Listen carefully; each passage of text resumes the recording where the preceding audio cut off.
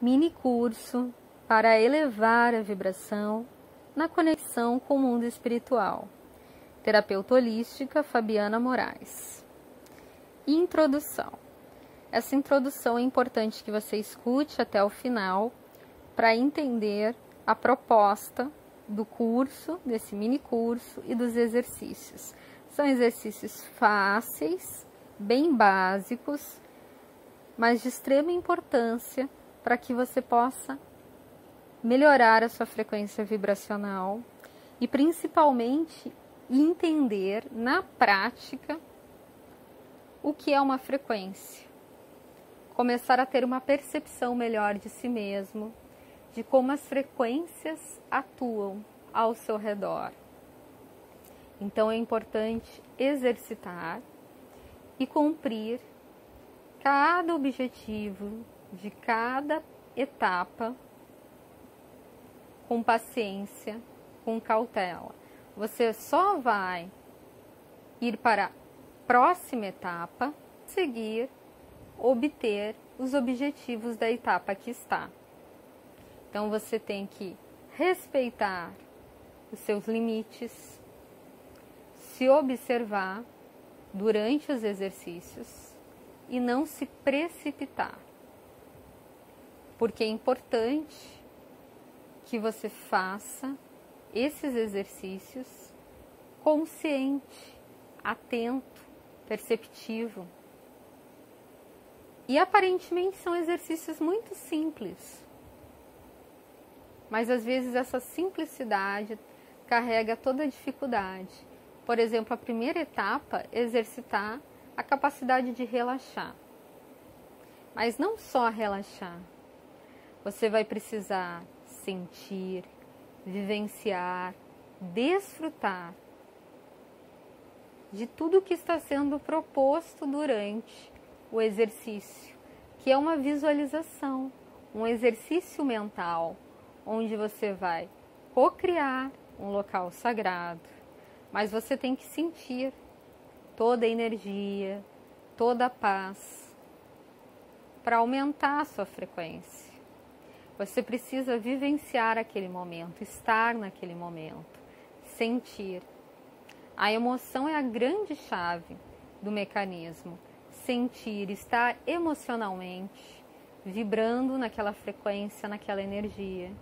Por isso que alguns processos de oração, afirmações positivas, oponopono, não obtêm os resultados que você gostaria porque você está fazendo já no automático.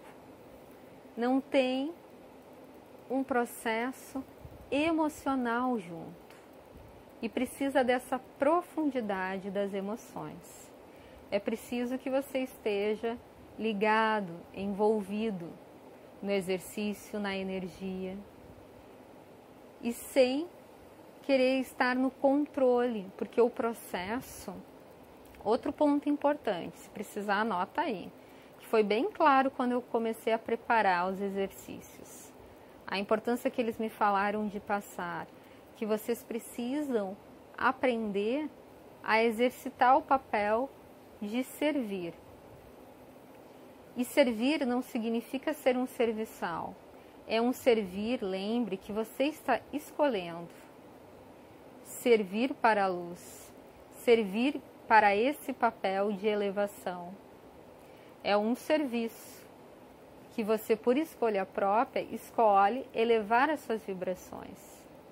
Só que para servir nesse processo, sendo um canal, você precisa aprender a escutar, exercitar a paciência e entender que nesse momento você não pode ter o controle de tudo você tem que aprender a compartilhar e a permitir que algo novo seja captado pelos seus pensamentos, no seu plano mental e vem de forma muito sutil. Então, se você julgar, se autocriticar, você vai estar sabotando todo o processo. Porque ele vai trabalhar de uma forma bem diferente talvez você não esteja acostumado.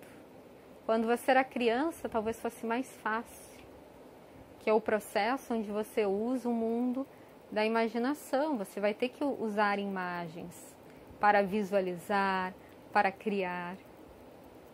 E para que essas imagens possam surgir, você tem que se permitir, sem julgar.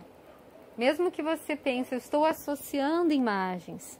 A associação é uma poderosa ferramenta, porque no início, quando você está sendo um canal, eles vão utilizar realmente as imagens mais fáceis para você associar e conseguir compreender a forma e pensamento de um mundo invisível. O mundo espiritual é um mundo invisível, não é concreto.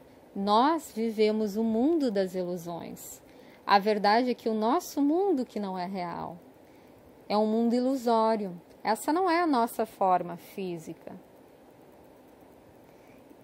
Então, para conseguir captar e compreender um universo quase inverso ao nosso, é preciso utilizar esse poderoso processo da imaginação.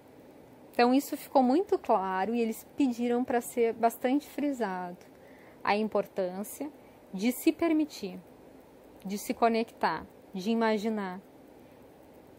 E principalmente lembrando que eles também uh, pediram para citar isso, que isso é apenas um exercício. Você está exercitando, então para que tanta rigidez? Se é apenas uma prática. Você pode errar nesse processo. Até porque pensar sobre o erro é uma forma muito racional, é uma forma muito simples de dizer que isso é bom ou ruim. E dentro desse universo espiritual as coisas são mais complexas entre o certo e o errado. Então é primeiro se permitir, porque ninguém precisa saber que você está fazendo esse exercício. Você não vai prejudicar ninguém nem a si mesmo, você está exercitando a sua capacidade. Você não vai ficar passando adiante mensagens. Você está apenas exercitando e aprendendo a aumentar, a elevar a sua frequência. Criando, co-criando o seu caminho, a sua forma e pensamento de fazer essa ligação. E para isso você precisa se deixar levar e deixar fluir o exercício naturalmente. Outro ponto importante antes de iniciar o exercício é que esses exercícios não devem ser praticados com crianças. Pela questão da expansão da consciência e por também respeitar a idade cronológica dessas crianças que estão vivendo nesse planeta que tem as suas leis. Por mais que sejam almas antigas, elas precisam viver experiências de acordo com sua idade. Então, se vocês acharem relevante, eu posso fazer exercícios específicos para crianças que já apresentam alguma angústia, algum desconforto, algum despertar espiritual. Mas tendo sempre o cuidado não colocar na criança a expectativa, apenas se ela estiver apresentando algum tipo de emoção, curiosidade, se ela mesmo mostre essa vontade. Aí eu posso criar exercícios porque eu sei que está chegando crianças, né, com uma vibração diferente, mas aí eu vou criar exercícios específicos. Então, a partir de agora, Vamos seguir para os exercícios. O primeiro é de relaxamento. E lembre, para seguir adiante, você precisa estar pronto e ter alcançado todos os objetivos. Então, se você sentir dor de cabeça, desconforto, algum tipo de tensão, você não segue adiante porque precisa ser prazeroso, você precisa desfrutar para iniciar o exercício até o final e sentir que você conseguiu obter os resultados, conseguiu estar presente, conseguiu visualizar, conseguiu des desfrutar e está emocionalmente ligado a tudo que foi proposto. E se você tiver realmente sintonizado, você vai ter a sensação de que o exercício foi bem rápido. Quando isso não acontece, se houver desgaste, desconforto, cansaço mental, significa que é para parar, né? Uh, como eu disse, respeitar os seus próprios limites e continuar fazendo exercício até conseguir passar para a segunda etapa, certo? Combinado? Então, até breve. Vamos iniciar agora no segundo vídeo a próxima etapa.